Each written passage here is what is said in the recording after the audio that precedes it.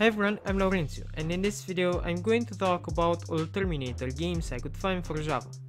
Terminator Salvation is amazing. It's a 3D linear shooter on Java. It's unique, there aren't many games of this sort on the platform.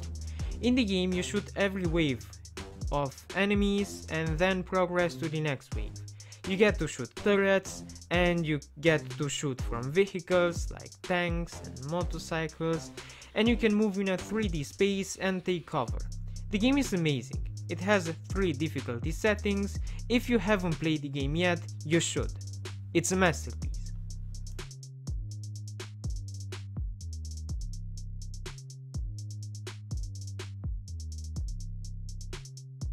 Terminator Revenge is a basic platformer.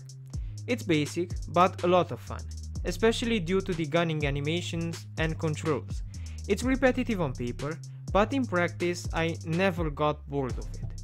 It's enjoyable and manly, with lots of explosions and gunning around. As simple as the game looks, it has some hidden quirks that make it a very good game. And Terror Terminator is another shoot 'em up. The animations aren't as smooth, and the controls aren't pitch perfect.